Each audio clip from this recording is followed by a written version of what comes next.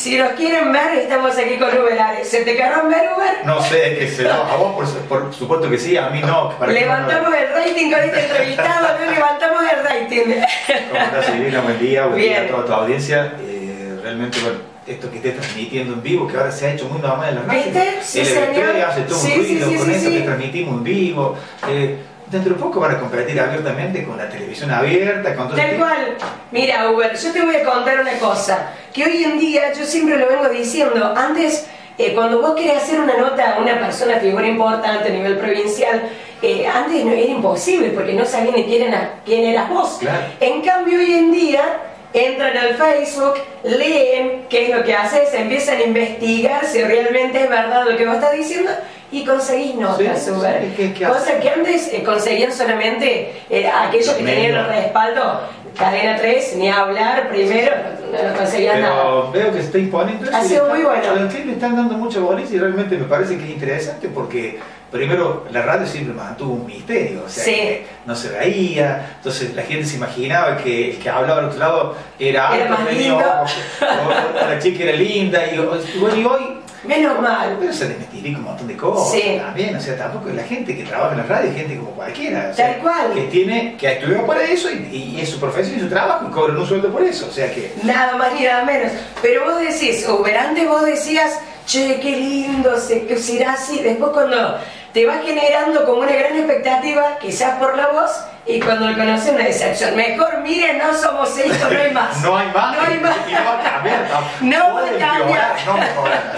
Con el correr de los años va a ir empeorando. A lo que a mí me pasa, este vos sos joven todavía. Bueno, Esta es la realidad. Bueno, Uber, si viene una actividad, decime primero en qué lugar lo van a hacer, en qué campo lo van a hacer. El 11 de octubre, o sea, el jueves no este, el otro jueves, en el campo Mario de Paul, a unos 13, 14 kilómetros, vos conoces el campo, ya he estado otras veces.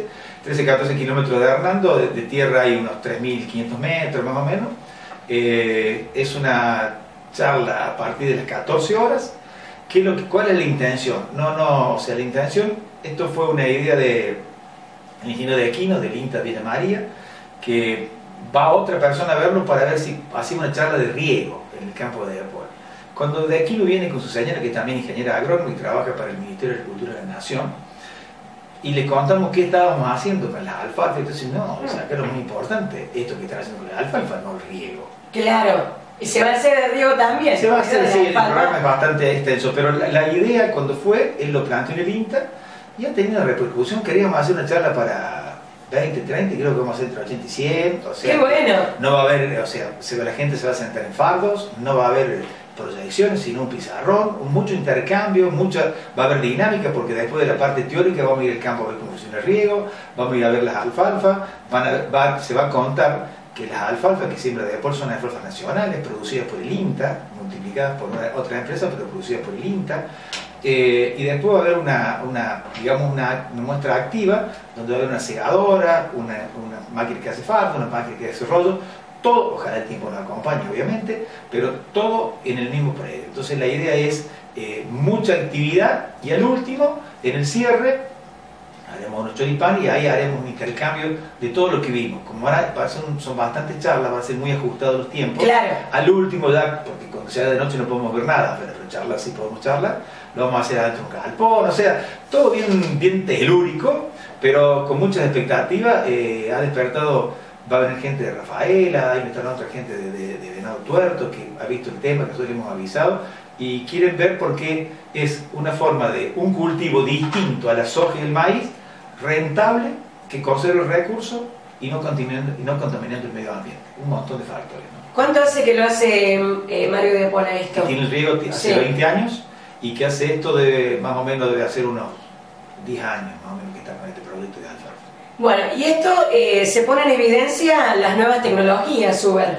Sí, las nuevas tecnologías desde el punto de vista de la reducción del uso de agroquímicos y fertilizantes. O sea, un poco la, la, idea, que vos sabes que has estado participando en muchas reuniones de estas, eh, la idea es, ¿se puede producir distinto? Sí, se puede producir distinto. Eh, lo otro es malo, esto es bueno, no, ni lo otro es malo, ni esto es bueno. Son dos alternativas de producciones distintas. Uno elige un camino, otro elige otro camino. Pero eh, eh, yo creo que un poco la tendencia en el mundo es tratar de, que, eh, que el recurso no se agote, sino que al contrario, se mejore, se crezca y no que tengamos destruyendo el recurso suelo y que después no tengamos producciones. Entonces acá lo que tratamos es mantener las producciones en el tiempo y no bajar los rendimientos. Un poco esa es la idea La, vida del suelo, un suelo sano. ¿cuál, es el suelo sano, Uber? el, suelo, el suelo sano... ¿Cómo me doy cuenta a simple vista que el suelo es sano? Un alambrado viejo, abajo es todo suelo sano. Un bosque que no ha sido todo el hombre es un suelo sano. Eh, y aparte compararlo, yo creo que te lo he dicho otra vez, compararlo con una persona. Una persona sana no se enferma, un suelo sano no se enferma, no se enferma una planta y no se funde el suelo. Pero yo le decía a un, productor, no, un muchacho que hace quinta que andando, y le digo que, que piense el suelo como nosotros. Si lo mismo de agua, no tiene aire, se muere. Si no tiene aire, se muere. Si no tiene bicho, se muere. O sea, uno tiene que, que el suelo darle el agua que necesita, pero no inundarlo. Viste que cuando tienen la lechuga, llenan de agua, ¿viste? Entonces, sí. se, muere la lechuga y claro, si la ahogaste, ¿cómo se va a morir? Igual. Esto es lo mismo. Eso es todo para, igual que para la vida, la reflexión. El otro día encontraba una moraleja que comparaba, le di tanta agua a la planta que se murió. ¿Cuál es la moraleja? Que no hay que dar en abundancia. En todos los aspectos de la vida, eso es negativo. Exactamente, bueno, la idea es... Lo pueden trasladar a la parte que quieran. A la que quieran, a la que quieran, obviamente. Sí, sí. Pero bueno, va a estar el Inta Manfredi, va a estar el director del Inta Manfredi, va a estar... Eh, Daniel Basigalú, que es lo máximo que hay en alfalfa en Sudamérica y debe ser el segundo o el tercero a nivel mundial, también del INTA. O sea que está todo, nosotros arrancó como una cosa de amigos y ha tomado una trascendencia que ojalá eh, bueno, sirva para la gente, lo que nosotros queremos mostrar y lo que se está haciendo nada más, o sea, en esto, y después mostrar el proyecto de este grupo de gente de acá de Hernando, que están haciendo su faro, que es un poquito de foto, o sea, mostramos cosas que hacemos acá en Hernando. O sea, no, no, no, no, vinieron, no vinieron del exterior, ni, ni están con las multinacionales, sino que estamos trabajando en alternativas productivas, que, que conserven el recurso y que se pueden hacer. Entonces, eh, me parece importante Bueno, a ver qué es lo que me había notado. Alfalfa, riego, asociativismo y tecnologías de un suelo sano. Algunos nombres que ya lo citaste, ingeniero Sergio Dequino, Aquiles Salinas, Daniel Basigalup, que ya lo nombraste. Y va a estar Luis Fosco, yo lo conozco. Vos lo conoces porque... Lo conozco, vino acá a casa. Claro, porque él es, un poco el que me inició en lo ácido húmico y fúlvico, ¿me entendés? Claro. él es el que me, me, me enseñó y él eh, un poco el conoce. Yo hice más el desarrollo extensivo y él hizo el desarrollo del producto. O sea que sí, va a estar él. Eh, bueno, cuando le dije se puso muy contento porque es un poco, este, tipo de tecnología cuesta mucho imponer, o sea, cuesta porque va en contra de los negocios normales. Entonces, como sale dentro de, los negocios normales, eh, es como las medicinas alternativas, ¿viste? Que siempre hay gente que las lleva y gente que habla en contra. Yo digo que no hay que hablar en contra. Alguien elige un sistema, otro elige un sistema. No, no se contraponen, son dos alternativas distintas. Hay gente que le gusta ser vegetariana y vos puedes estar de acuerdo, no, pero eh, hay que respetarlo. Y si le gusta ser vegano y si le gusta, carne, le gusta comer carne, bueno, cada cual elige su forma. Y esto en la producción pasa lo mismo. O sea, no, no, no tenemos que ser tan fundamentalistas, sino nos lleva a esas grietas como ahora están tan de moda, que no llevan a nada. O sea, nos lleva a, que, a que hablemos mal del otro, no hay que hablar mal de nadie. O sea, son distintas formas de producir, todas son muy buenas. Esta es una tecnología que se llama Campi. Mm, no, Campi es una marca. Campi es una marca. Es una tecnología de trabajar con ácido húmico y fúlvico. O sea, tratar de que el ácido húmico y fúlvico es materia orgánica. Sí. Razón por la cual, si yo levanto mejor el suelo a través de esto, es decir, de la aplicación de ácido húmico y fúlvicos, hace que mejore el suelo, mejore la producción y tengo menos posibilidad de tener insectos en el campo. Mario Depol no controla ni pulgones ni de alfalfa de hace 3 o 4 años. ¿No controla nada? Nada, no tiene, sí, la plaga existe sí, pero no produce el daño para controlarla. Ah, mira vos. Pues son cosas que se logran con el... ¿Te acordás la nota de dichosos los que, los que creyeron sin ver? Así era la nota dedicada a Mario, después se armó un lío ¿Te acordás? Bueno. ¿Te acordás la nota ese título? Bueno, ahí está. Sí, esas cosas uno no se puede olvidar. Bueno, entonces reiteramos, ¿puede ir cualquier persona que cualquier quiera persona, participar? Fundamentalmente sí. Es que esté interesado en el tema. Claro, porque no vamos a hablar de agroquímicos, no va a haber empresas multinacionales, sino vamos a contar lo que estamos haciendo. O sea, tiene que interesar la alfalfa, porque de última va a haber alfalfa, no, no va a haber ni maíz, ni sorgo, ni trigo, ni nada, alfalfa. O sea, la charla se va a basar específicamente en alfalfa. Si le interesa, bienvenido todo porque lo organiza el INTA, nosotros somos partícipes, eh, pero les enganchó de ella, el INTA Mafre se puso al frente, hace toda la difusión, bueno, y eso nos da nos obliga. Porque antes iba a ser una charlita entre amigos, ahora ya nos obliga. Tenemos que organizarnos un poco, ya están viendo cómo los georreferencias en el campo la gente llega, va a estar carteleado la ruta donde tiene que entrar la gente, bueno, va a estar organizadito como para que sea una cosa bien hecha, bien hecha. pero bien chacarera. bueno, Uber, le deseamos todos los éxitos para esto. Vamos a reiterar, jueves 11 de octubre, este jueves no el otro, a la hora 14, se va a ir hasta medio tarde porque son de hablar mucho, a más allá de que sea sintético cada sí, tema. lo que le pedimos a la gente que sea lo más puntual posible por lo que está diciendo vos, o sea, se hace noche. Eh, otra cosa, ¿qué pasa si está el tiempo feo? Sí. Nosotros podemos, depende de cuánto llueve, se puede hacer lo mismo, porque por ahí no podemos hacer la parte activa, sí, pero podemos hacer toda la parte teórica y ver algunas cosas. El día antes vamos a decidir, porque hay unos pronósticos que están dando lluvia para ese día. Porque si la lluvia es grande y que arruinemos los caminos, obviamente no vamos a entrar con un montón de vehículos para arruinar los caminos. O sea que el día antes vamos a confirmar si por alguna cosa se tiene que suspender.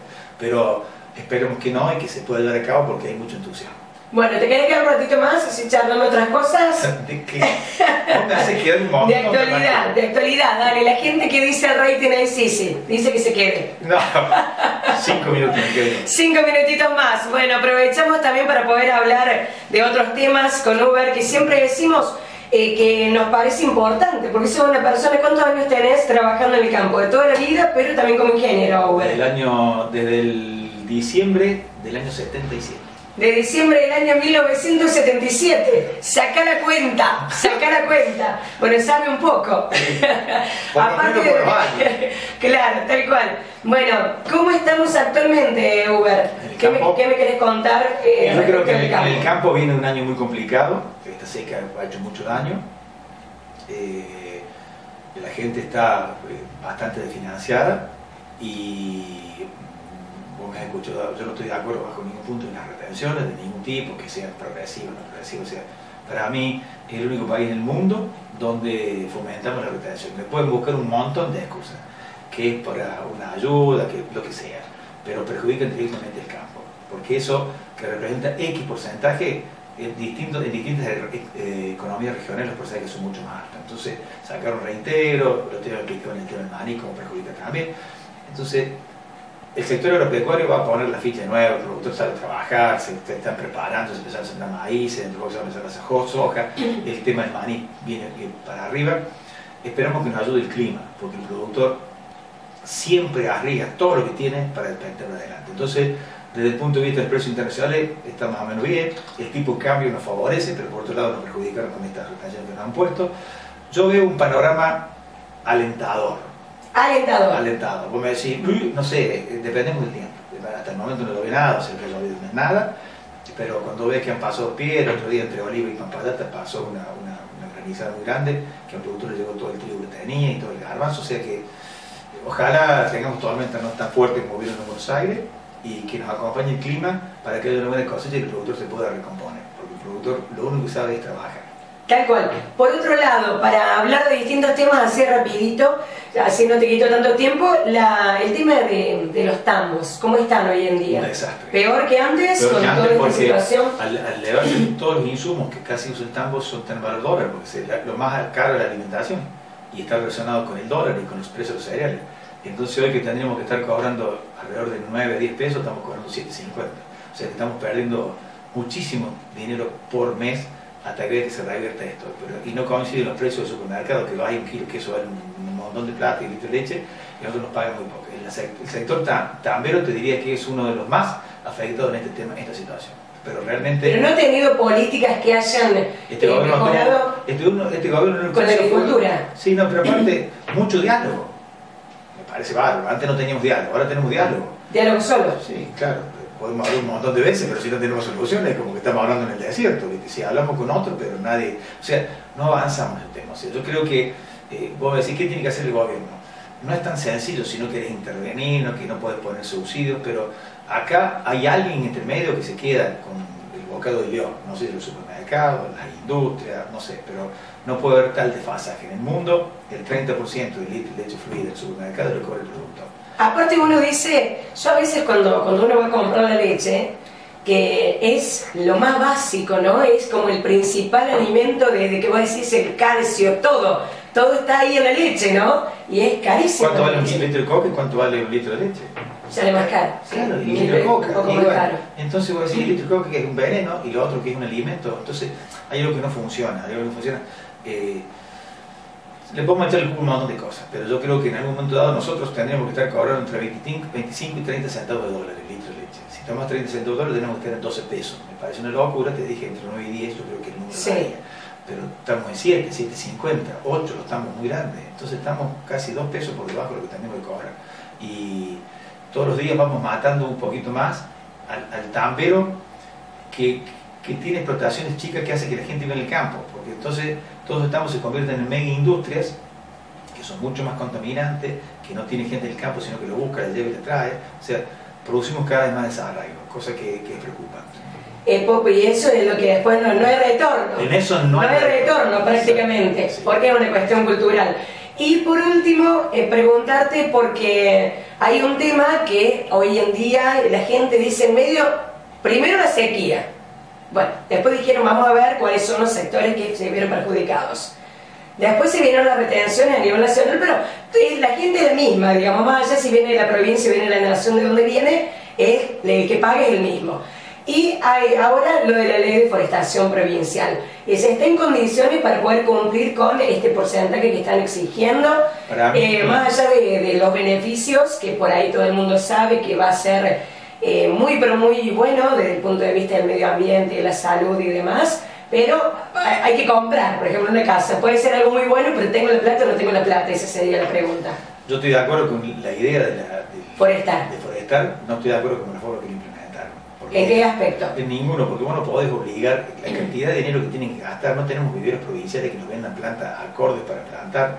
No está, hay un montón de cosas que no están claras. ¿me entiendes? Entonces, yo creo que hubiese hecho, el otro día alguien me comentaba y me pareció bastante interesante, haber empezado, decir, bueno, en 10 años vamos a forestar todo, pero que empecemos en las zonas problemas y concentremos los esfuerzos de la provincia en esa zona acompañándolo, ayudándolo, poniendo en marcha los viveros para hacerle destaca. Bueno, ¿Por qué? Porque si no tiene que hacer una inversión, que el productor no está en condiciones de hacerla. O sea, independiente de los beneficios, es como si yo te digo, mira, toda lámpara de LED que va a reducir el consumo. Pero si no tenés para comprarla, vos decís, sí, yo pongo tal... Ese es el tema. Bueno, esto es lo mismo. Y la sanción es lo que preocupa también. Pero- porque se te duplica Claro, el impuesto inmobiliario pero es, una, aberración, es una aberración.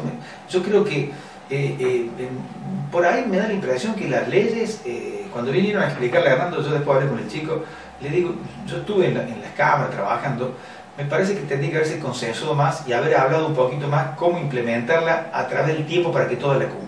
Porque si no, ¿qué hacemos? Hacemos leyes que después nadie controla, los que las cumplen se sienten unos pavos y los que no las cumplen se sienten unos pícaros. Entonces, ¿por qué no hacemos leyes que podamos ir cumpliendo todo y decimos, bueno, 10 años, 15 años, logramos el objetivo? Pero estuvimos durante 10 años, 15, dejando que se destruyeran los montes y no hicimos nada. Y ahora se nos como, o sea, tenemos el mea culpa por lo que pasó antes, destruimos todos los montes que había autóctonos y ahora queremos introducir. ¿Por qué no nos pusimos antes a trabajar para que no se destruyera todo y fuésemos construyendo de a poco? O sea, estoy de acuerdo con la idea, me encanta ese tipo de ley, no estoy de acuerdo en la implementación ni cómo se quiere llevar adelante. El, el tema de, ¿tenés idea si han aumentado los costos de las plantas? Ahora plantees todo eso con el dólar. Claro, pero- ¿Está sujeto, eh, corre la suerte del dólar? No, ¿La- corre, la no sé si corre la la suerte del dólar, No no, tengo idea. pero no, no tenemos viveros que produzcan, entonces tenés que ir a comprar viveros privados. Claro. Y si, ¿cómo es la oferta y la demanda? Cuando sube la, la, la demanda, Aumenta el precio. aumenta el precio. Entonces, muy distinto Si sería no que, cae, cuando baja. que diga, mira, los viveros provinciales van a hacer eh, estacas, vos podés multiplicarlo, que eso te sale baratísimo, lo haces en tu casa, después habría que elegir, yo creo que no hay tantos árboles para poner, habría que elegir bien qué árbol, hay una lista, hay de autóctonas, qué sé yo, pero habría que verlo, también ese tema hay que trabajarlo más, eh, pero no, porque si no tiene que gastar una fortuna de plata la gente. Yo creo que la idea es buena, la ley no es tan buena y la reglamentación me parece que es una barbaridad. O sea, estoy de acuerdo con la, la idea original, estoy de acuerdo con la forestación, no estoy de acuerdo con la implementación. Bueno, la búsqueda del objetivo está bueno, pero por ahí hay algunas cosas que habría que haberlas visto en el momento cuando se, se iba a votar. Cuando había que votar había que ver esto. Bueno, Uber, Muchas gracias. muchas gracias. Todos los éxitos. Jueves 11 de octubre, 14 horas, en el campo del señor Mario de Va a Paul. estar señalado sobre la ruta, es 10 kilómetros largos del camino Pampata, Sí. va a haber toda una cartelería para que la gente sepa dónde tiene que bajar. Buenísimo. Estás invitada si vienes. Por supuesto, vamos a tratar Has de estado en las otras bien. épocas, así que ahora tenés Sí, que estar también. me voy a ir de zapatilla como Por mínimo. supuesto. No, voy de taco, viste, todos lados. No, no, no, taco no, De no. zapatilla. Si no te va a quedar cómodo para caminar. Bueno, muchísimas gracias, Uber, en serio, buena estrella. Gracias, igualmente.